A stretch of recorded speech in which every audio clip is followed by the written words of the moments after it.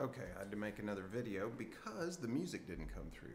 Okay, so we're gonna play these with odd strums. So it's like this. One, two, three, one, two, three, four, five. One, two, three, one, two, three, four, five. One, two, three, one, two, three, four, five. One, two, three, two, three, four, five. Let me play it. I'm gonna slow it down here and you can hear the music.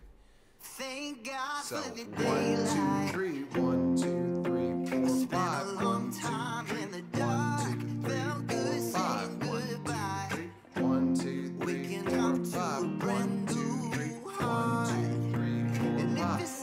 See, so all of those, it, we usually our ears want to hear things in fours, like even numbers, but this is divided into off beats. So this is the way I have my students uh, count um, time for strumming an off beat, which is one, two, three, one, two, three, four, five, one, two, three, one, two, three, four, five. Now, as you speed it up, it gets harder. Look, so we'll speed it up here, closer to what he's doing. thank God for the daylight. three,